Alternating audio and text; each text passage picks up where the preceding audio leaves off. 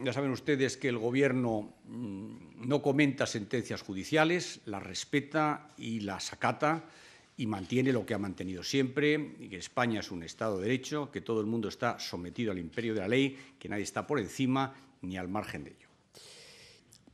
Que las sentencias no son ejemplarizantes, las sentencias simplemente tienen que ser justas y tienen que ser objetivas. Yo que he sido abogado, aunque no he llevado muchos casos penales en mi vida, pero sé que al final lo que se enjuicia es si una conducta determinada entra o no dentro de un tipo penal.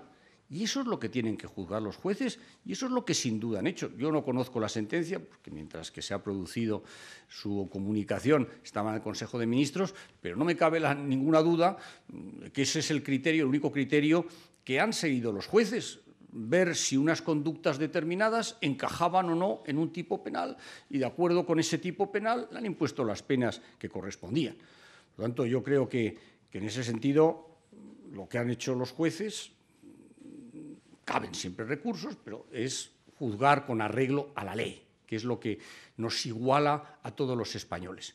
Y yo creo que, que la, corona ha sido ejemplar en toda esta cuestión.